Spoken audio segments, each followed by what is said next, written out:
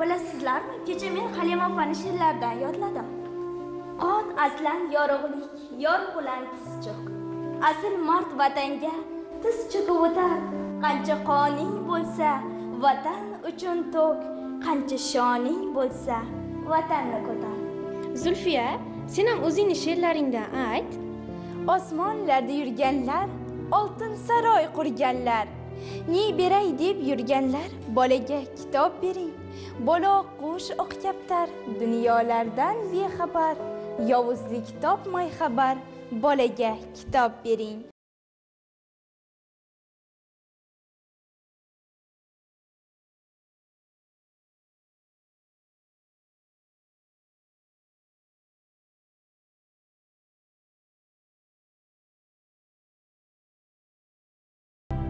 Assalomu alaykum. Qalb orzu pokiza tuyg'ular musaffo kechinmalar. Ijod birgina so'z bilan aytadigan bo'lsak bugun hayot haqida suhbatlashamiz. Ijodiy uchrashuv loyihasi bilan huzuringizda yana biz. Qahramonimiz esa xalqimizning sevimli shoirasi ustoz shoirimiz zulfiya mo'minova assalomu alaykum. Zulfi opa xush kelibsiz. Men hozir sizni bir bolalik damlaringizga bir sayru sayohatga boshlamoqchiman ba'zi bir kechinmalar ba'zi bir holatlarni yodingizga solish istagidaman hozir. Chorbog' shakar olma nok olma va mana shu olmalarni pishgan suvni yuzida to'kilib turgani. Meni nazarimda bu mana shu suvni yuzida to'kilib turgan olmalarni rassom nigohi bilan ko'rsa boshqacharoq bo'lardi. Keyin kelin bormoq qizim. Behi sizga nimalarnidir eslatmayaptimi hozirgi mana shu aytgan so'zlarim? Albatta e, birdan shu bolalikni ko'z oldimga keltirdim. Mana shu aytgan olmalaringiz oq olma qizil olma bularni hammasi biz men tug'ilib o'sgan samarqand viloyati narpay tumanida o'sha suvda narpaydi suvlarida ariqlarda bog'larda aylanib o'tadigan va otamni hovlisida katta uh, havuz bo'lar edi o'sha havuzga olmalarni oqib kelganini va ayniqsa tuni bo'yi uh, olmalar havuzga uh, tap tap to'kilganini ko'rganimda keyin yozganman. Olmalar bir uyalchang qizlarga o'xshaydi. Ular hamma uxlaganda kechqurun cho'milishar ekanda deb mana shu o'sha holatlar ko'z oldimga keldi.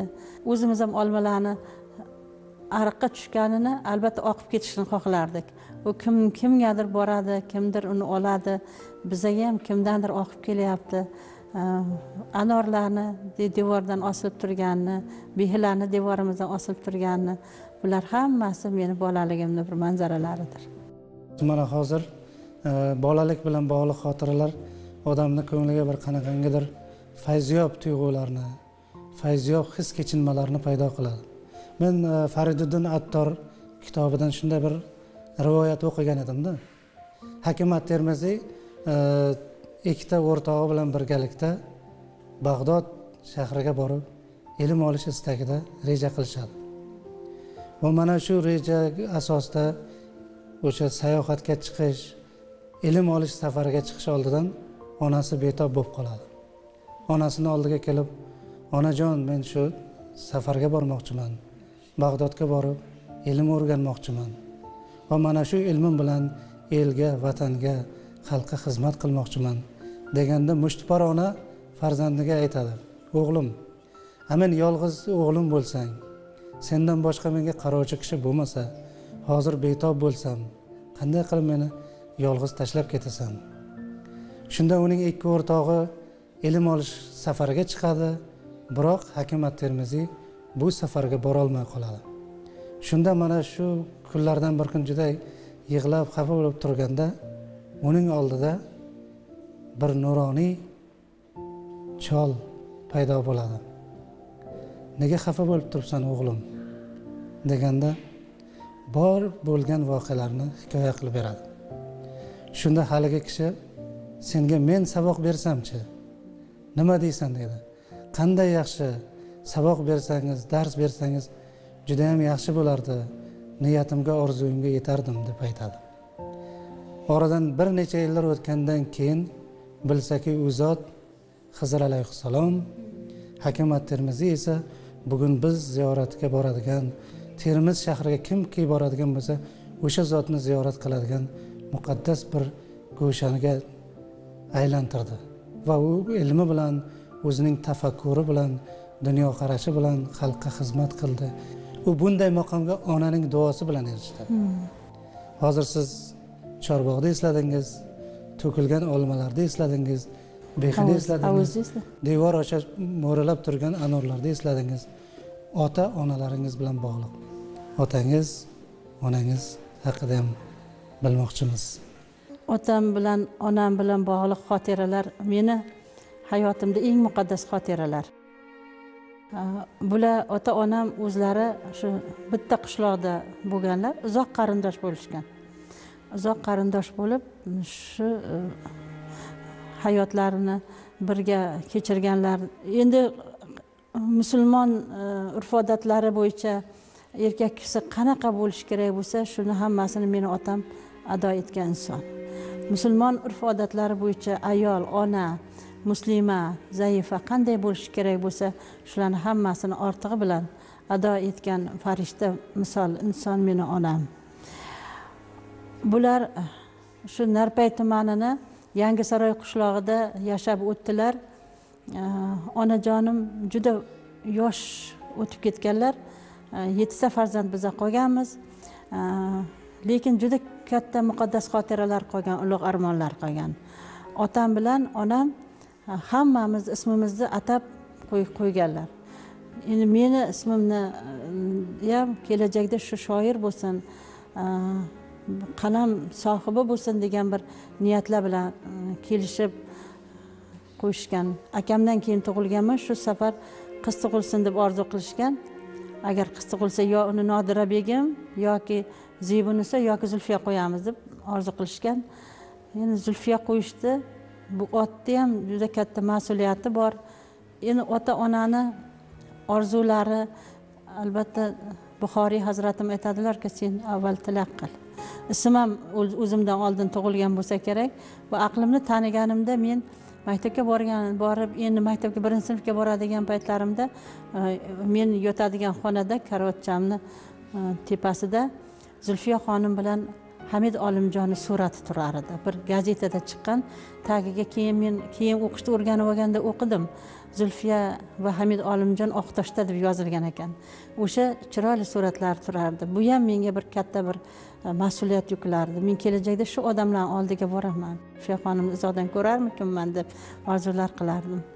Va e, otam ham onam ham judayam ma'rifatparvar insonlar bo'lganligi uchun bobom juda ko'plab dostonlarni yaxshi bilgan bir baxshi inson bo'lganligi uchun momolarim ertaklar aytib berganligi uchun e, bo'lsa kerak mana shu hayotni judayam bir go'zal deb e, tasavvur qilganman va o'sha tasavvurlarimda haliyam yashayman g'ayratjon. Meni tasavvurimda bu dunyo bolaligimda qanday beg'ubor go'zal bo'lsa xuddi shunday saqlanib qolgan meni yuragimni tub tubida yana men hayotimdagi eng katta bir sovg'a birinchi meni otam bizga kutib olish uchun samarqand shahriga ketar edi u paytda transportlar juda og'ir. Samarqandga borib kelish uchun ham avval bir kun tayyorgarlik ko'rilardi va bir kun yo'lga chiqilardi. Borib samarqandda yangi chiqqan kitoblarni olib kelardilar bizaga akamga ukalarimga menga va bir kuni menga borib samarqanddan halima xudoyberdiyevaning oq olmalar degan kitobini olib keldi. Meni hayotimda eng katta sovg'a va eng quvonchli kun bo'lgan. Va o'shanda e, aytganlar otajonim rahmatli shu shoiridek agar she'rlar yoza bilsang she'rlar yozsang edi men senga nima sovg'a xohlasang shuni hammasini olib beraman deganlar. Dunyodagi eng chiroyli narsalarni. Qandaydir bir shu meni ruhlantirish uchunmi shu yo'lga yo'llash uchunmi e, shunday va'dalar bergan otamga. Ko'zimga butun dunyo bir go'zal ko'rinib e, mana shu kitobni o'qiganman. Va oradan qanchadir vaqt o'tib yana otajonim uzoqqa shu samarqandga borib men xursand bo'laman. Menga bir shirinlik yoki zar do'ppi yoki zar chopon emas ana kitob olib kelganlarini eslayman. Abdulla oripovning yurtim shamoli kitobini olib keldi. Unda men ancha katta edim. Va o'sha kitobni boshdan oxirigacha yodlab olib otajon men mana shu kitobni hammasini yodlab oldim desam shunaqangi ko'zlaridan yosh e, aylanib rostdan shuni aytib bera olasanmi? deganlarida qaysi betini ochsangiz o'sha she'rni men yoddan aytib beraman deganman. Keyin men o'qib berganman. Shunaqangi duo qilganlar o'shanda mana shu she'rlarni yodlaganing uchun. Xuddi men o'zim o'sha shoirni o'rnida bo'lib qoldim. Ehm, omadingni bersin. Senga ham allohim o'sha ulug' yozuvchilarni oldida. Senga ham joy bersin allohim. Seni ham ijod ijodlaringni odamlar shunaqangi sevib o'qisin. Men xudoyimdan shuni so'rayman. Berardan qismasin deganlar. O'shanda shuni xursand bo'lganman abdulla orif she'rlarini yodlagan ko'rasizmi mana ota onaning duosi qanchalar kuchga qudratga ega. Tangrining dargohida deydi ota onani duosi qabul bo'ladi deydi mardon bobo bilan bog'liq. Muqintosh ona bilan bog'liq. Yetti farzandni voyaga yetkazgan e, ota onalaringiz bilan bog'liq xotiralar yaxshi judayam chiroyli. Elda ardog'idagi shoirsiz va sizning she'rlaringizni sevib o'qishadi. Sizni she'rlaringiz qo'shiqlarga aylangan. Bularni hammasini tag zaminida o'sha ota onaning duosi bo'lsa ajab emas. Men yana bitta narsani bilmoqchiman. Mana hozir o'sha olis bolalikka qaytdingiz va olis bolaligingiz bilan bog'liq qahramonlar haqida gapirdingiz.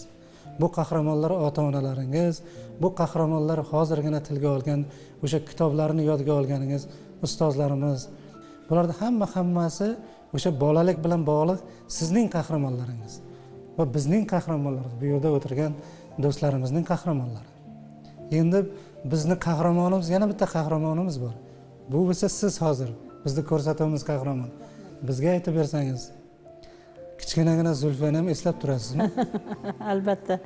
Kichkinagina zulfiyani e, shu darajada bir allohim orzularga to'la qilib yaratgan ekanki e, avvalambor ming shukur deyman. Keyin men menga ustozlardan allohim qarashdi. Birinchi e, boshlang'ich sinf o'qituvchim abdulla shernazarov bu bir o'sha narpay tumanidagi to'qqizinchi maktabda boshlang'ich sinflarga dars bergan ustoz bir dunyolarga teng bo'lgan inson bo'lgan. Va men e, kattaqo'rg'on pedagogika bilim yurtiga o'qishga kelganman. Mana shu bilim yurtida e, meni ustozim klara hakimova bu inson ham bir g'oyibdan bir e, avliyo sifat bo'lib bir onaday bo'lib menga duch bo'lganlar. Va albatta men orzu qilib mana toshkentga keldim. Toshkentga kelgan vaqtimda ham g'ayrajon men bir zulfiya xonimni halima xonimni uzoqdan ko'rsam bo'larmikin abdulla orif erkin vohidov omomatjonlarni deb shu orzu qilib yurganmanda.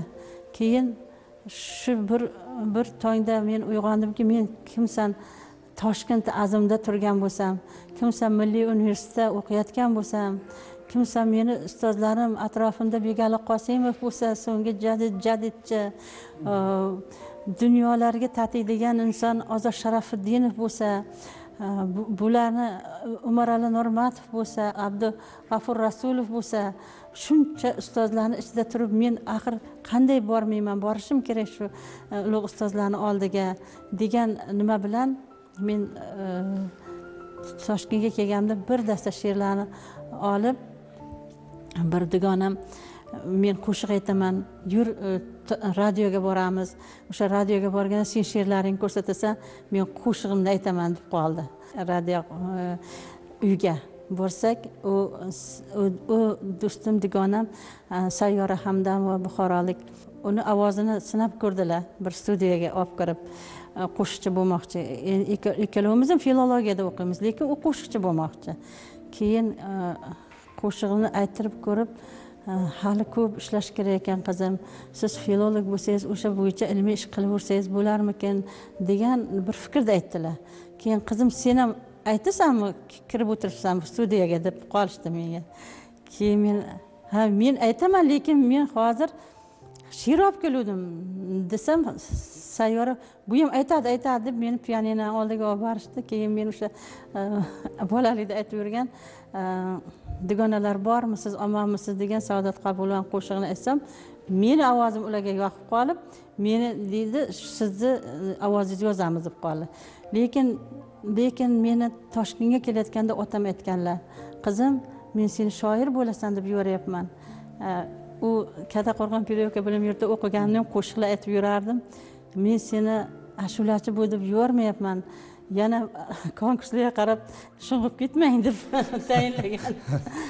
Keyin yo'q men qo'shiq aytmoqchi emasman men she'rlar olib kelganman desam keyin shu bir dasta she'rimni o'sha paytda uzoq yillar radioda ishlagan anvar isroilov degan bir ajoyib ustoz o'sha paytda bemor bemor uyda yotganlar ekanlar shularga ko'rsatmoqchi bo'lib olib ketishdi.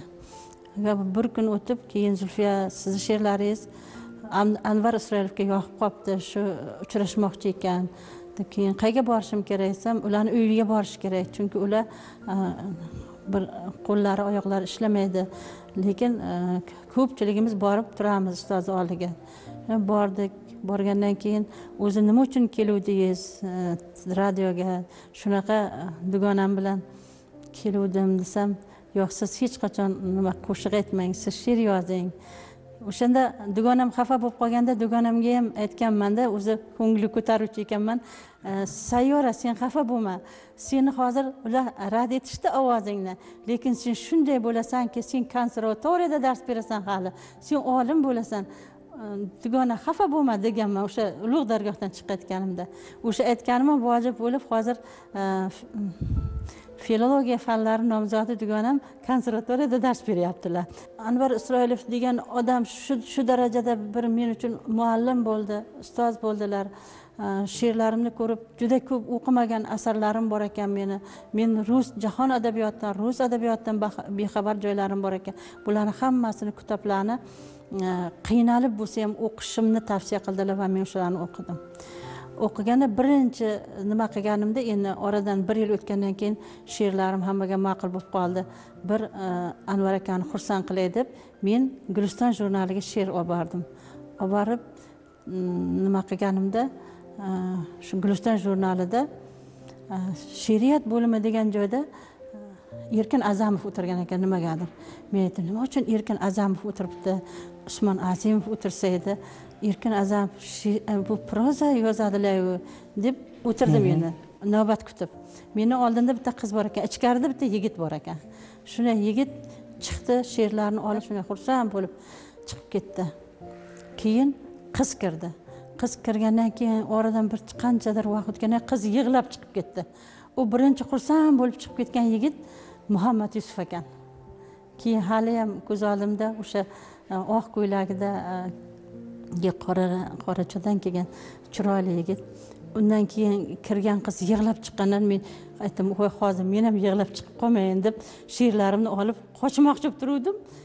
Bariton ovozi chiroyli ovozda erkin azamni kiravering. Qaysiga kimga navbat deb qoldilar. Voy ko'rib qolibdilar endi iloji yo'q deb kirdim. Kirdim endi qo'llariga olyapti she'rni qaltirab turibman deydi. Hozir men ham anavi qizday yig'lab chiqib ketaman shekilli deb.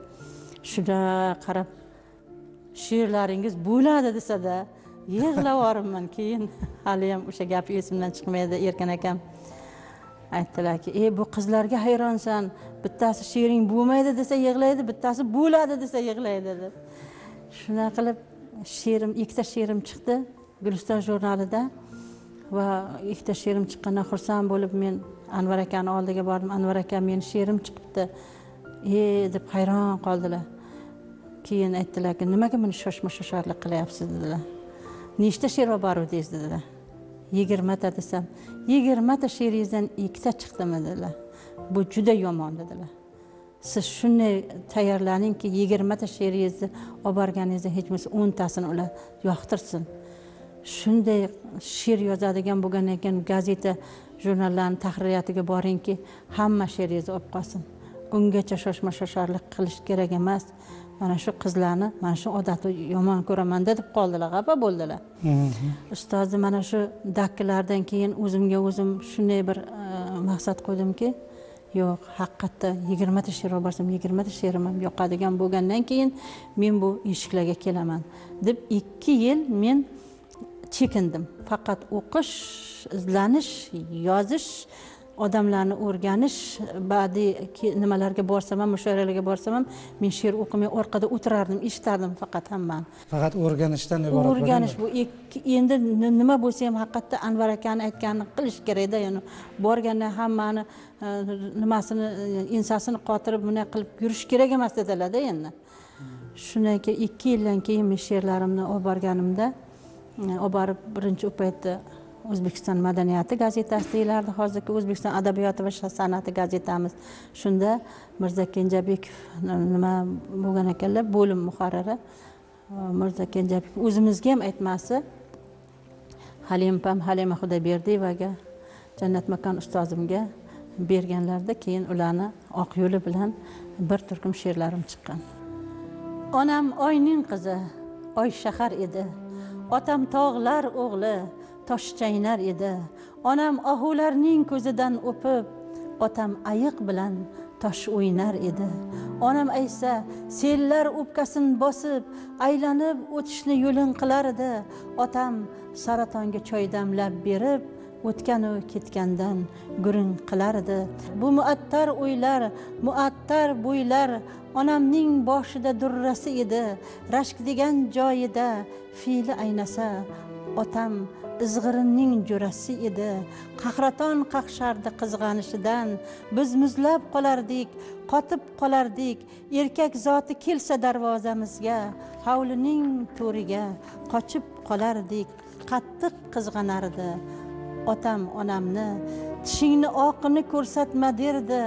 Onam yayramadi uning zug'midan. Er degan shundayin bo'ladi derdi. Otam hovlimizda ko'tarsa bo'ron uchta qiz eshikni ochgancha qiya jim jim yig'lar edik sim yig'lar edik o'ylardik o'ksirdik. Onamni sevmaydi deya. Onam vafot etdi qirq bir yoshida. Ko'p erta chorladi u dunyoyi chin otam ko'nikmadi onamsiz baxtga. Otam uylanmadi onamdan keyin. Biz esa biz esa o'ylabmiz o'ksibmiz onamni sevmaydi deya. Onam oyning qizi oy shahar edi. Otam tog'lar o'g'li toshchaynar edi. Ustoz Э, mana bugun siz nafaqat yurtimizda balki xorijda ham o'z kitobxonlaringizni muxlislaringizni topib ulgurmoqdasiz.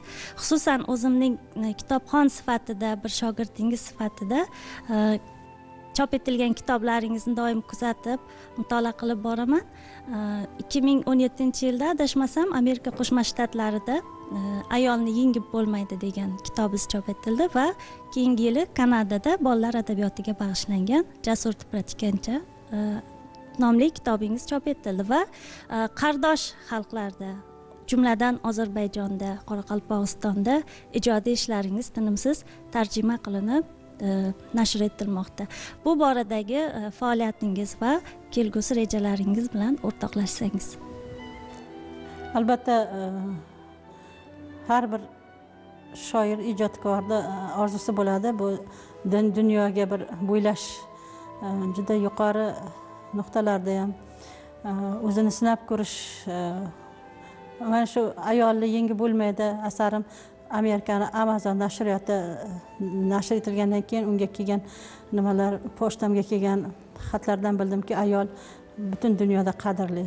Va uni ko'p yozish kerak shu mana hozir aytdingiz jasur tipratikancha bu kanadada nashr etilgan bolalar ham bolalar ham shu darajada butun dunyo bolalar adabiyotini juda yam qadrlar ekan va uni birdan bir yigirma til, tilga ayrim ertaklarni yigirma tilli gazeta jurnallarda nashr qilingani ham meni yana ham ilhomlantirdi albatta davom etadi bu borada ishlarimiz mana hozir bir ming to'qqiz yuz sakson uchinchi yil do'stlik san'at saroyi e, osiyo va afrika yozuvchilar shoirlari anjumani dekadasi deyilardi to'g'rimi? Mushoirasi e, o'sha yerda siz tinchlik uchun ovoz beraman degan she'rni o'qidingiz va sizga o'zbekiston xalq shoiri zulfiya xonim qo'lidagi bir dasta gulni olib kelib berdi. Bilmadim man mana shunday bir lahzalarni agar nom qo'yib bering deyishsa munavvar lahzalar deb atagan bo'lardim. Haqiqatda o'shanda tinchlik uchun ovoz beraman degan she'rimni o'qiganman. Endi yoshlardan ham bir bittasiga ovoz bitta navbat beraylik deb jannat makon ustozlarim marhamat ko'rsatib menga navbat berishgan va she'rni o'qib bo'lganimdan keyin umuman tushimda ham bo'lmagan holat zulfiya xonim eng chiroyli gullarni olib kelib menga berganda hushimdan ketay deganman shunday bir holat bo'lganki zulfiya xonim gullarni bergan paytda men zulfiya xonimni qo'llarini o'pganman. Qo'llarini o'pib shunday bir e, juda bir qarsakbozlik bo'lib ketgan pardani orqasiga o'tib turganimda shuni ham bo'lganda endi sen hozir noto'g'ri nimadan chiqib ketding protokoldan chiqib ketding. Sen ayol kishi ayol kishini qo'lidan o'pish kerak emasdi sen nima uchun bizadan bizdan ruxsatsiz shunaqa nima qilding degan tanbehlarni berishgan men o'z u paytda osmonda yurgandim u eshitib qulog'imga ham kirmadi. Keyin aytganmanki to'g'ri qilgan ekanman. Bu meni agar boshqacha bo'lganda boshqacha holat bo'lganda men o'zim kechirmasdim. O'sha paytda meni o'rnimda boshqa inson bo'lganda ham xuddi shunday qilardi. Bu ustozni bag'ri kengligi bu ustozni saxiyligi bu ustozni mehri xuddi bir bolasidek yaxshi ko'rishi u inson xuddi shunaqangi bag'ri keng inson edi. Butun bir yoshlarga bir shoir sho- she'r yozaman deb qishloqdan chekka chekka ovullardan cho'ponlarni qizi bo'ladimi dehqonni qizi bo'ladimi hunarmandni qizi bo'ladimi? U inson uchun o'zini farzandidek o'zini shogirdlaridek qabul qilganlar. Zulfiya xonim. Judayam yaxshi mana zulfiya opa mana sizni bemalol aytishimiz mumkin. Judayam saodatli baxtlidir. Haqiqat. o'zingiz ham buni e'tirof etdingiz ustozlardan meni baxtim chopgan ekan. Chopgan. fikr mulohazalarda aytdingiz halima opani esladingiz va keng erkin azamni esladingiz anvar isroilovni esladingiz.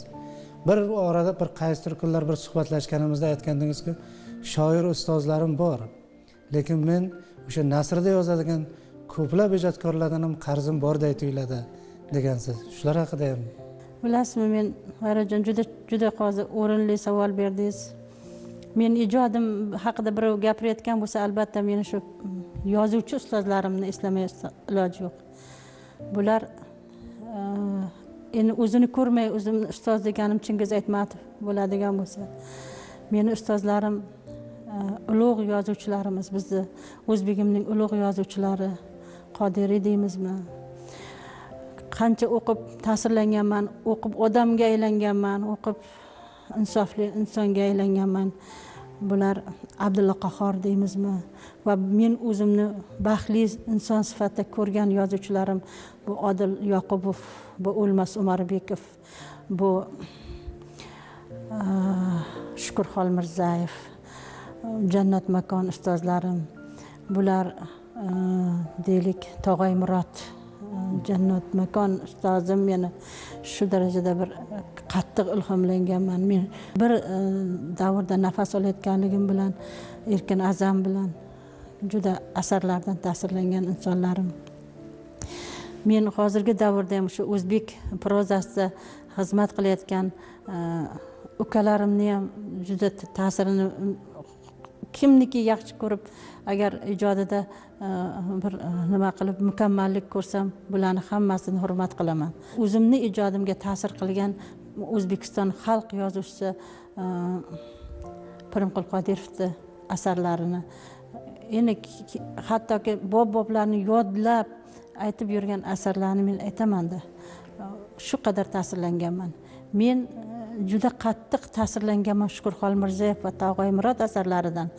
Tog'ay murod asarlarini shunday bir she'r o'qiganday o'qiganman. Shukurxon xolmirzayevni asarlarini men agar o'qimasam bu dunyoda nima qilib o'tib ketadi deb o'zimga ba'zan savol beraman. Shu darajada ulug' yozuvchilarni men ko'rdim shularni suhbatida bo'ldim.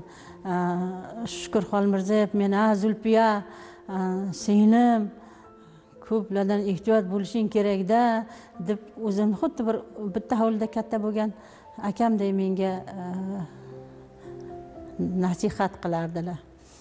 Men e, albatta alohida e, hayotimda bir yo'lni tanlab ketishimda o'zini yo'l to'g'ri yo'lni ko'rsatgan o'lmas umarbekovdek ulug' yozuvchini ulug' dramaturgni albatta doim katta hurmat bilan eslayman meni singlim deb gapirgan shunga arziymanmi arzimaymanmi?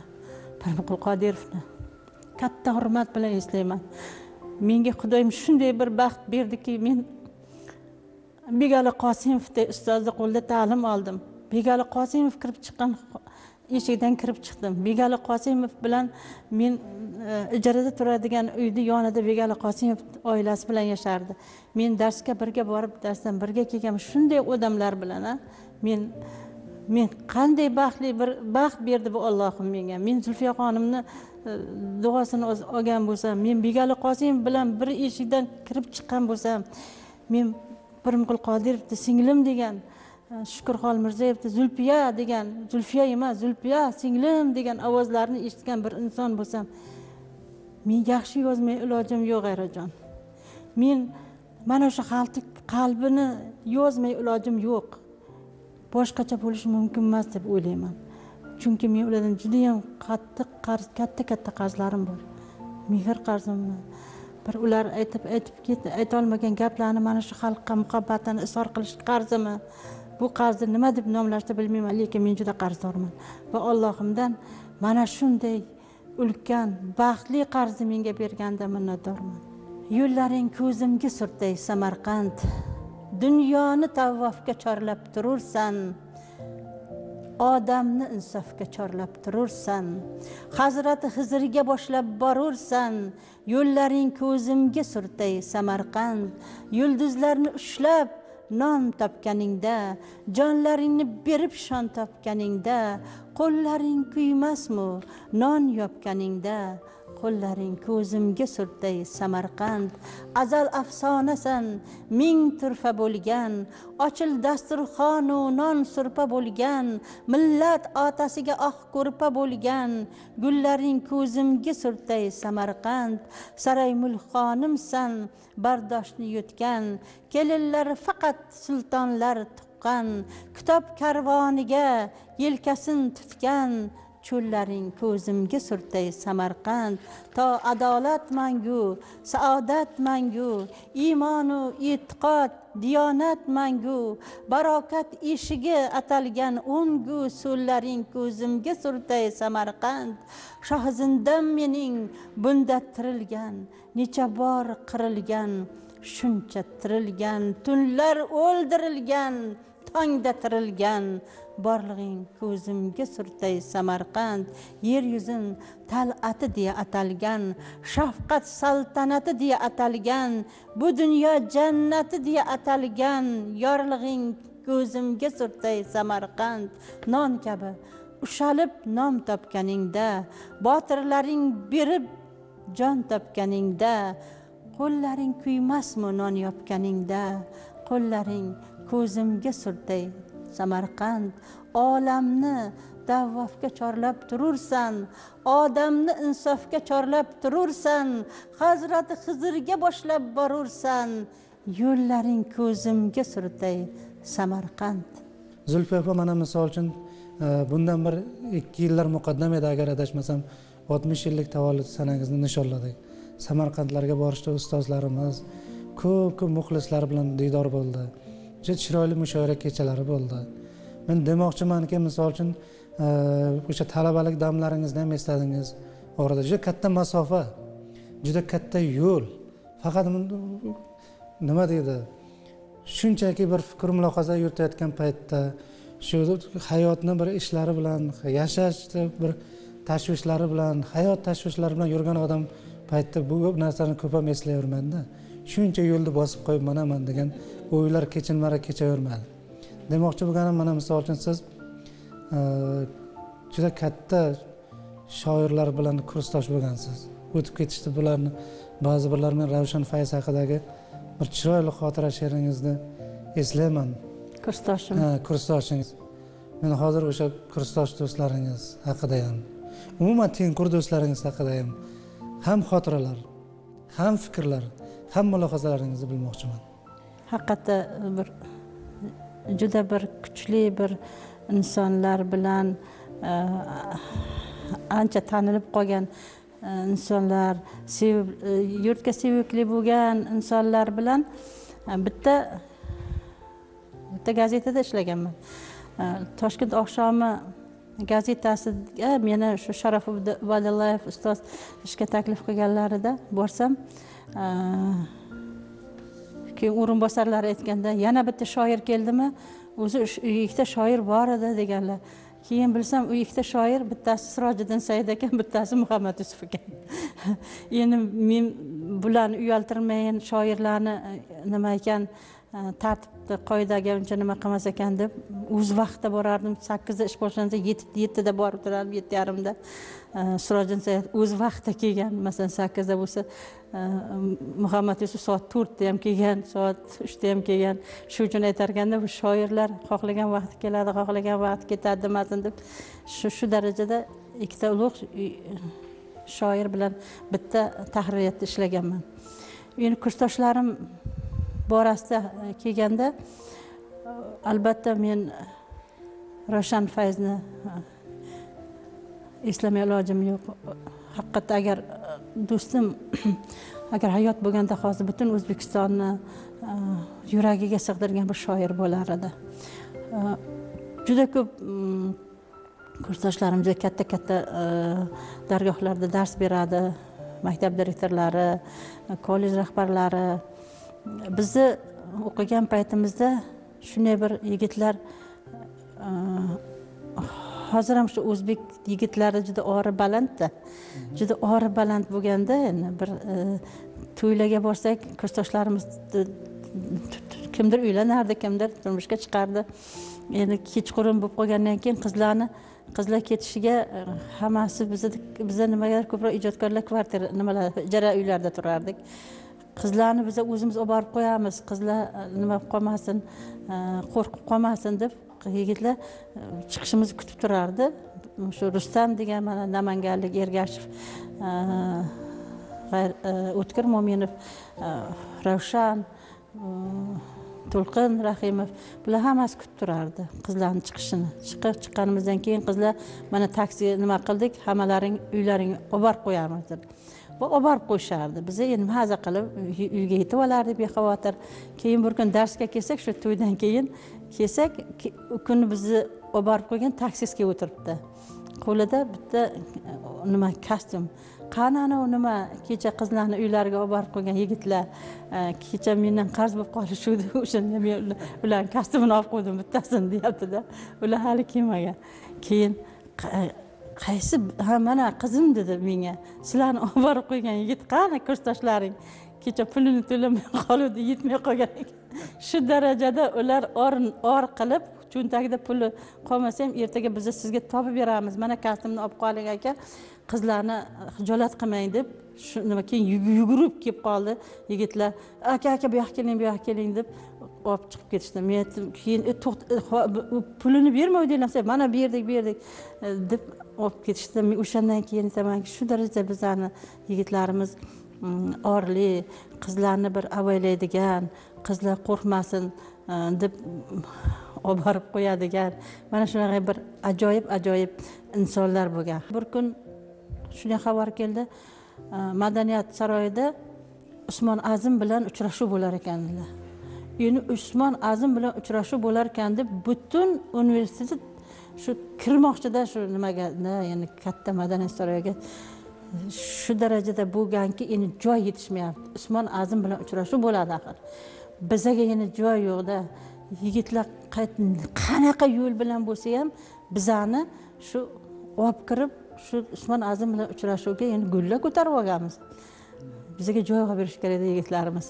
Borib qanaqa bilmayman qanday yo'l topgan o'shanda bizaga uchinchi qatordan joy olib berishgandi yigitlarimiz shunaqangi minnatdor bo'laman. Mana shunaqa uchrashuvlarni biz e, shunaqangi bir katta bir bayram deb kutib olganmizda. Va mana shu bayramlarni bizaga bizni meni kursdoshlarim hadya etgan meni kursdoshlarim mana shu ajoyib yigitlarimiz tengdoshlari tengdoshlarimiz. Ravshanjon bilan biz o'n ikkinchi jahon yoshlarini festivalida ishtirok etganmiz moskvada. Ravshan o'zi tug'ma qiziqchi edi hammani kuldirib yurardi. O'sha she'rimda ham aytganku ravshan bizni bir kundir so'rardi sanam qizlar o'zing aytganday yuzi gul qoshlari qalam qizlar. Ravshan kuldirib yurardi. Bir katta o'sha festivalda bir nimaga borsak saroyga borsak ravshan hindistondan kelganlarni o'rtasida raqsga tushib yotdi. Qanaqa hamma ravshan ham ularni o'rtasida o'yinga tushib yotdi. Keyin menga aytadiki zulfiya bu yoqqa bu yoqqa e, bu bular mana qanaqangi do'st bo'lib olding ravshan desam men men men ramman dedim bu shamagan oti deydi. Bu ramish aka ikkovimiz qo'shilib ramish bo'ldik deb ha deb o'yinga tushyapti. Butun ular yaxshi ko'rib qolgan bu o'zbek yigitini. Qayerga borsa haligi bir to'da nimalarni orqasidan ergashtirib hammasi bilan til topishardi. Ravshan hamma bilan hammani kuldirardi. Katta bir avtobusga chiqib kelgan kechikib kelyapti o'zi. O'yinga tushib qolib ketgan kimlar bilandir rasmlarga tushib. Ya, bizni shunday asabiy asabiy kutib kutib o'tiribmiz kirib. Mana ulug' shoiringiz ham keldi deb kirib keladi juda yaxshi dedik nihoyatda kirib keldingiz. Deb. hammani kuldirib yuradigan bir ajoyib mana shu kursdoshlarim bilan albatta nihoyatda kuchli she'rlar yozishardi kuchli mushoiralar bo'lardi. Uncha muncha masalan nimani tan olmaydigan qattiq tanqid qilib tashlaydigan joylari bo'lardi adolatli tanqidlar bo'lardi katta katta mushoiralar bo'lardi she'riyat kechalari bo'lardi. Bularni hammasida biz ishtirok etganmiz. Judayam yaxshi. Qarang mana hozir yaxshi xotiralar yaxshi mulohazalar bo'ldi. Buning uchun hammasi uchun rahmat. Chunki o'shanday bir xotiralarni eslab yurish va o'shanday bir xotiralarni kimlargadir ilinish ham aslida ezgulik yaxshi fazilat hisoblanadi. Meni hozir e, o'sha o'zimni bolaligim bilan bog'liq bir holat yodimga keldida E, sandal degan narsa bo'lardi. Bizda tanchayam deb aytishadi. Ha, bizda sandal deyishadi. Ha, sandal shu tanchayam deb aytishadi. Shunga hamma oyog'ini tiqib qish ke- kechalarida qish sovuq kunlarda tiqib o'tirib oyog'ini tiqib hamma atrof sandal atrofida jam bo'lishadi. Dostonlar bobolar ham bo'ladi momolar bo'ladi ota onalar butun oila jam bo'ladi. Va mana shu paytda e, biz tomonlarda paxta bo'lardi keyin uzumni mayiz qilishardi. Shunda mayiz ba'zan bir hovuch bir hovuch mayizni berib yaxsini bo'l- bo'lak. Sal kattasini kichkinasini kattasini kichigiga ajratish yoki bo'lmasa misol uchun paxtani berib chigitini ajratilardi mana shu ajratish mana shunaqa holatlar paytida chiroyli suhbatlar e, chiroyli mushora chiroyli ertak aytishlar. Bobolar momolar aytishardi agar ular charchab qolsa yoki bo'lmasa bizga mana bu kitobni o'qib bergin mana bu she'rni bizga o'qib bergin degan holatlar ham bo'lardi. Va o'sha she'rda dostonlar aytilgan laparlar bo'lgan matallar aytilgan topishmoqlar aytilgan. Tabiiyki bu e, o'shani insonni tarbiyasi uchun ham muhim rol o'ynaydi. Agar ijodkor bo'ladigan bo'lsa uni bir keyingi bir ijodiy bir kayfiyatiga ham ta'sir qiladi. Men bu bilan nima demoqchiman? E, sizni bolalarga atalgan she'rlaringiz ham bor. Bir ustozimiz aytgan ekan har bir ijodkor bolalardan qarzdor. U albatta bolalar uchun nimadir ijod qilishi kerak deb. Sizni o'sha bolalarga atab yozgan kitoblaringiz ham bor. Umuman mana shu e, bolalar bilan bog'liq ijodingiz haqida ham bir ikki og'iz so'zlab bersangiz. Endi bolalardan hammamiz albatta qarzdormiz. Edigilarda shunday bir e, gap bor ekanda. Agar sen bir mamlakatni egallamoqchi bo'lsang uni bolalarini tarbiyala deb biz o'zbek bolalarini tarbiyasini birovga berib qo'ymasligimiz kerak. Biz albatta ularni e, yaxshi odam bo'lish uchun mana shu yurtni qadriga yetish uchun bu katta bir ulkan xazina o'zbek adabiyotini o'zbek madaniyatini ma'naviyatini asrashi uchun biz o'zimiz ularga albatta o'zimiz e, o'rnak bo'lib ko'rsatishimiz kerak. Shu uchun ham o'sha e, ularga ertak yozamizmi e, topishmoqlar yozamizmi tez aytishlar yozamizmi hozir mana pesalarimni qo'g'irchoq teatrlarida ishlayapmiz. Bu multfilmlar uchun ssenariylar bo'ladimi? Baribir hammasiga bu vaqt ajratish kerak va yozish kerak. Э, mana ikki ming o'n sakkizinchi yilda э, akadem nashrda men tosh э, donishmand toshbaqaning ko'zoynagi bolalar uchun ertaklar to'plami chiqqan bo'lsa chulpan nashriyotida yumshog'oy protikanchaning xotiralari sarguzashtlari kitobim chiqdi va o'zbekiston nashriyotida bolaga kitob bering she'rlar to'plami hozir yana qorboboning bolaligi va bo'rini yenggan qo'zichoq haqida ertaklarim va qoraqalpoq bolalari uchun batir tepratekkan balasi ya'ni kichkina jasur tepratekkancha degan qoraqalpoq tilida she'rlar to'plamini yaqinda taqdim etaman bularni hammasi meni avvalambor o'zimni bolalardan qarzdorligim va o'zimni nabiralarim nabiralarim har kuni oqshom uchta e, juda sho'x juda talabchan e, nabiralarim bor. Ular boshlang'ich sinflarda o'qishadi. Ularga ertak aytib aytib aytib yana qanday e, nima qilib qolganimni to'plaganimni aytib berishim kerakda har kuni yangi ertak so'rashadi.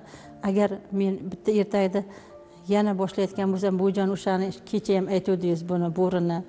Keling bugun boshqa ayting deydi. Xuddi men bir yoqda uyib qo'yganday. Shu ertaklarni keyin majbur bo'laman boshqa o'ylashga. Keyin bir bir o'ntalab bir yigirmatalab bo'lgandan keyin keyin aytdimki buni bir qog'ozga tushiray boshqa nabiralar ham xabardor bo'lsin deb ha shunaqa qilib ularni darrov qizlarim kompyuterga solishib aya bu bir ikkita kitob bo'lib qolibdi. Ular ham qo'shilib tinglaydigan bo'ldida onalari ham qo'shilib tinglaydigan bo'ldi. O'zbekistonimizda bolalar adabiyoti kunlari bor. Ikkinchi aprel bu bolalar adabiyoti kunlarini boshlanishi bo'ladi oyligini boshlanishi bo'ladi. Mana yaqinda ikki ming yigirma birinchi yil aprel oyini bir haftaligi to'liq shu e, o'qish badiiy adabiyot o'qishga beriladi haftaligi bo'ladigan bo'ldi. Butun respublikamizda o'shanda ham men bolalardan albatta o'zimni qarzimni e, uzishga harakat qilaman. Ustoz hammamiz bilamizki yaqinda o'zbekiston yozuvchilar uyushmasi o'zbekiston respublikasi mudofaa vazirligi milliy gvardiyasi tomonidan tashkil qilingan posponima muqaddassan vatan tanlovini g'olibasi bo'ldingiz. Albatta bu bilan sizni tabriklaymiz. Mani savolim quyidagicha. Aynan vatan posbonlari harbiylar to'g'risida juda ham ko'p qalam tebratasiz. Mana bu borada qayerdan ilhomlanasiz? Men shu sizlar mehnat qilayotgan vatan posbonlarini vatan qal'onlarini ter to'kayotgan e, huzurlaringda bo'lganman. Bular albatta juda ko'p menga ilhom bergan. Bundan keyin ham meni mana shu she'rlarni yozishimga bu publitsistik maqolalarni yozishimga sizlarni vatanni jonidan aziz ko'rgan uni yurt qal'onlari e, oltin boshlarini vatanimiz mamlakatimiz ostonalarida aziz boshlarini qo'yib jonlarini qalqon qilib turgan bizni vatan bayrog'ini o'pgan yigitlarni borligi hamma qatori menga ham ilhom bag'ishlaydi. Sizlar meni hayratga solishdan e, qudratlaring bilan kuchlaring bilan e, o'zlaringni bir ma'naviy yuksakliklaring bilan charchamanglar men ham charchamayin sog' bo'ling. Farzandlarga ism qo'yishga ota onalarimiz ayniqsa bobo buvilarimiz juda yam qattiq e'tibor qilishadida va buni eng muhim narsa deb bilishadi. Nazarimda shu kitoblarga nom qo'yish ham borku xuddi farzandga ism qo'yishdek juda murakkab va juda mas'uliyatli deb hisoblayman. Men sizni kitoblaringiz nomlari ham juda chiroyli. Qanaqa qaray qanaqa nomlashga nimalarga ko'proq diqqat qilasiz misol uchun yonayotgan ayol. Hech kimni xayoliga kelmaydigan nom. Yoki misol uchun e, buyuk uyg'onish. mana bugun e, uchinchi renessans haqida gaplar ketyapti so'zlar ketyapti. Va mana shunga intilishlar ketyapti. Kitoblar nomlanishlari bilan bog'liq fikrlaringizni bilmoqchiman. Endi bitta narsa e, eshitgandim ustoz pirimqul qodirovdan kitobni nomlanishi bu uni yarim muvaffaqiyati. Nimaga ustoz shunaqa deydilar ekansam shu kitobni qo'lga olgandan keyin yarim muvaffaqiyat degani u o'sha e, nimani asarni nomi ham e, jizib jiz etib odam yuragi borishi kerakda endi biz harakat qilamiz shunaqangi asarlarni yozishga va shunga nom topishga. Ustozlarimizni endi asarlari shunaqa bo'lganda chiroyli nomlanganda juda juda juda uzoq o'ylangandir balkim balki shunday bo'lgandir. Asarni o'zidan ham ko'ra ko'p mm, nomini qo'yish nomini qo'yish bu uzoq vaqt olgandir lekin shunday atashgan ular. Qar- qarang bizni bizni hayotimizga kirib qoldiki o'sha o'tgan kunlar degan nomni qarang atalishi. Sarob degan nomni atalishi. Bu yulduzli tunlar deb atalishi buni bulbulani hammasi bir e, qora kamar deb atalishi yoki ot kishnagan oqshomda yulduzlar manga so'nmaydi. Bularni hammasi qanday o'ylab topilgan e, nomlar bular. Albatta e, bu ham mehnat talab qiladi vaqt talab qiladi. Bugungi bunga bu shoshish shoshma shosharlikni chetga qo'yishga to'g'ri keladi ba'zan lekin baribir ma'qul ism topish kerak.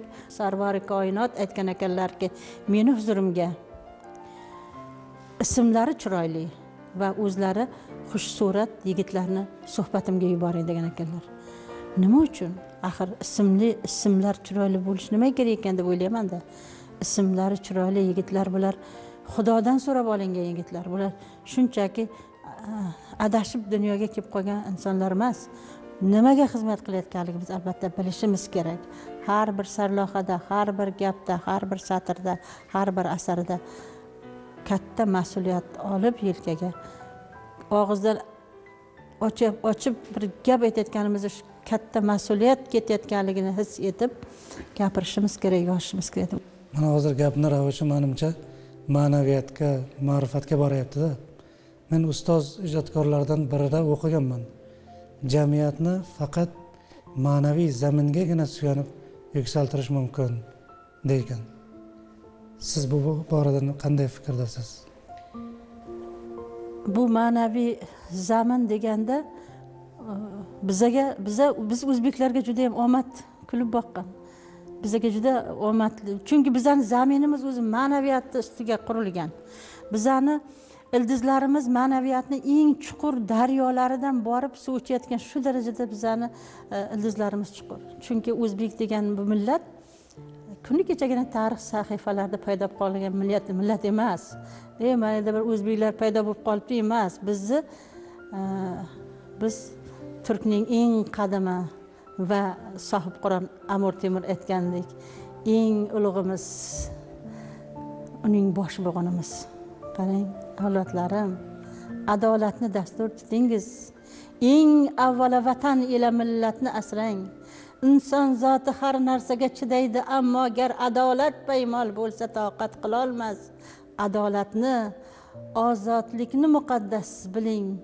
Inshaalloh muslim bo'lib biz ham yorug' olamda boqiy umr emas abadiy nom istadim ezgu ish bilan.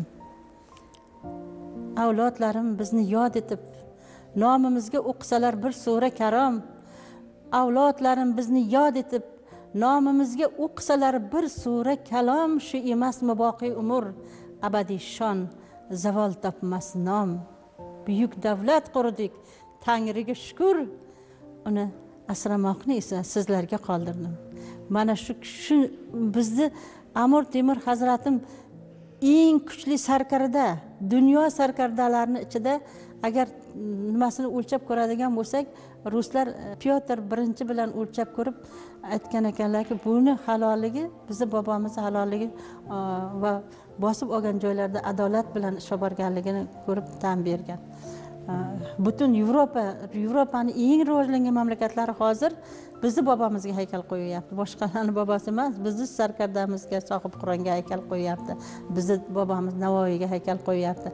Bizni xorazmiy bobomizga haykal qo'yyapti. Bularni bularni biza iltimos haykal qo'yinglar bizani bobolarimizga deganimiz yo'q. Ular ayrimlari hatto bizadan ham oldin haykal qo'ygan paytlari bo'lgan. Bizni mana shunday ma'naviy ustunlarimiz borligini o'zi bizni ko'ksimizni ko'tarib turadi. Qancha mehr kerak sizga? Oling. Qancha sizga muhabbat kerak? Oling. Faqat o'qing. Yaxshi odam bo'ling. Siz uchinchi renessansni egalarisiz siz xorazmiylar beruniylar sohibqironlar ibn Silol- sinolar ulug'beklar boburlar nodiralar zibnisolar avlodlarisiz.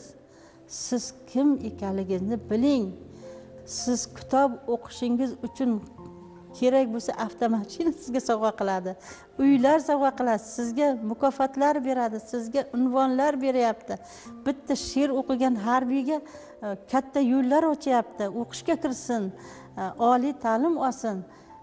Bunaqangi e, holatlar bunaqangi zulfiya nomida davlat mukofotlari biza o'qigan paytimizda bo'lmagan shu nimalar. Mana mana shu kunlarni men sizlarni baxtlaringni ko'ryapman. Biz ko'ryapmiz shu e, mukofotlarni olayotgan yoshlarni. Umuman so'z ahliga adabiyotga ijodga juda katta e'tibor qaratilyapti. E, mana misol uchun o'zbekiston yozuvchilar uyushmasining yangi binosi adiblar xiyoboni ijod maktablarini biz bilan birga o'tirishibdi. Abdulla qodiriy ijod maktabi o'quvchilari. Mana shunday maktablar faoliyat yurityapti yurtimizda. Bularda hamma hammasini zamirida e, ijodga ijodkorlarga e'tibor e, va ulardan katta katta asarlar kutish ham bor shunday emasmi albatta yoshlarga bo'layotgan g'amxo'rliklarni ko'ryapman bu cheksiz chegarasiz qaysi birini aytayda yoshlarga qilinayotgan saxovatni o'zbekiston yozuvchilar uyushmasi har yili nechtalab bizni yoshlarimizni birinchi kitoblarini ijod fondini sa'y harakatlari bilan Э, yana uni o'sha tarqatish masalasini butun э, mamlakat bo'ylab tarqalishini yosh ijodkorlarni э, ijarama ijara yurganligini hisobga olib haqiqatda o'sha hujjatlarni olib kelib mana shu ijaraga men shuncha pul to'lab yuribman deganlariga birinchi navbatda uy joy berilishini har bittamizga bizani shogirdlarimiz bor. Mana shu shogirdlarimdan mana ishtirok etyapti. Meni mana bu ko'rsatuvimda ham bilasizmi? Mana shularga qilinayotgan g'amxo'rliklarni ko'rib men aytamanki bu millatni kelajagi haqiqatda porloq. Biz bu eldan bu yurtdan biz qarzdormiz. Mana shu tarbiya masalasida ham qarzdormiz. Siz bilan bo'ldi bu joyda uchrashuv. Va bu ijodiy uchrashuv bizni qalbimizda ko'nglimizda yuragimizda davom etadi deb o'ylayman. Sizga ham yana ijodiy barkamollik tilayman.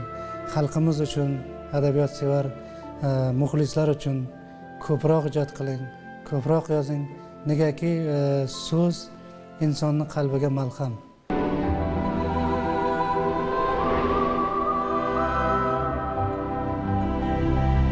Zulfiya opa bugungi uchrashuv uchun bugungi suhbat uchun sizga katta rahmat. Muhtaram tomoshabin bugun siz ijodiy uchrashuv ko'rsatuvi orqali xalqimizning sevimli shoiri zulfiya mo'minova bilan uchrashdingiz. Hamsuhbat bo'ldingiz uning she'rlaridan bahramand bo'ldingiz. Tabiiyki bu ijodiy uchrashuvning boshlanishi endi esa sizning qalbingizda yuragingizda davom etadi. Shoiraning kitoblari doimo hamrohingiz bo'lsin. Navbatdagi ko'rsatuvlarda ko'rishguncha omon bo'ling